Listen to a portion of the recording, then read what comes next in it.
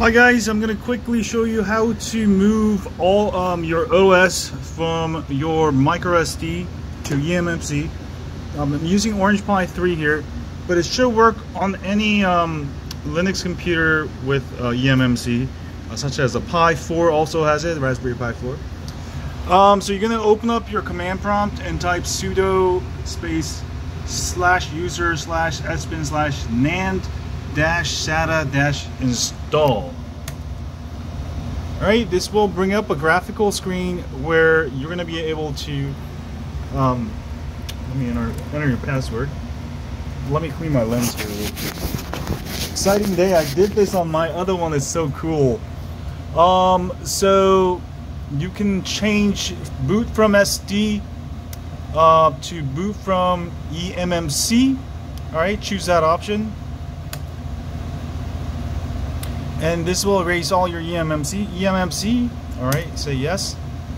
Uh, choose extension 4, and that's pretty much it. Once this is done, um, you're gonna simply go ahead and take the micro SD card out, reboot, and you're gonna be booting off the eMMC, and it's way faster. I'm telling you, it's way faster.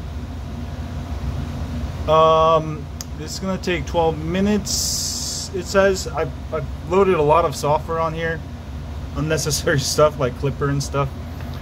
Um, but yeah, I'll be back when this is done. Hey guys, it's done. So I'm gonna go ahead and power off.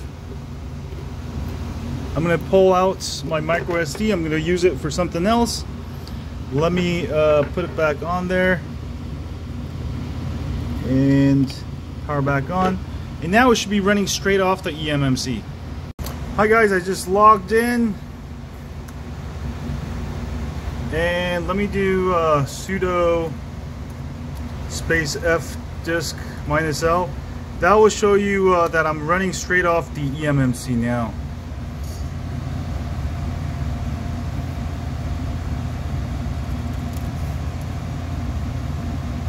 Look at that.